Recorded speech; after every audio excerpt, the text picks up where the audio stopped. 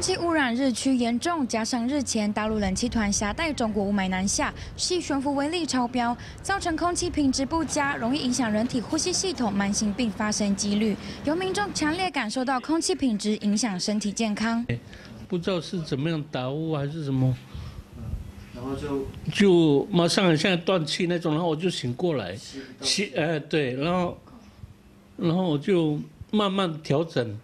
调整那个呼吸。根据世界卫生组织的统计，全球一年死于空污的人数高达七百万，三十多年后可能增加一倍。而空气污染最严重时间大约落在冬季，空污跟温差增加心肌梗塞发生几率。接触到这个 PM 二点五以后，主要是我们的呼吸道，比如鼻子、鼻腔进到我们的呼吸道里面，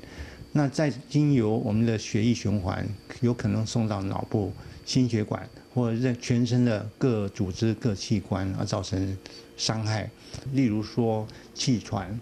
呃肺气肿，或者是慢性支气管炎的人，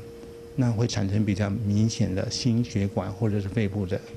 毛病出来，医师建议，不管有没有心血管疾病，平日就要多注意身体保健。外出戴口罩之外，透过饮食跟运动，让身体免疫系统增强，好避免空气污染带来威胁。记者二十杂报台北市、新北市采访报道。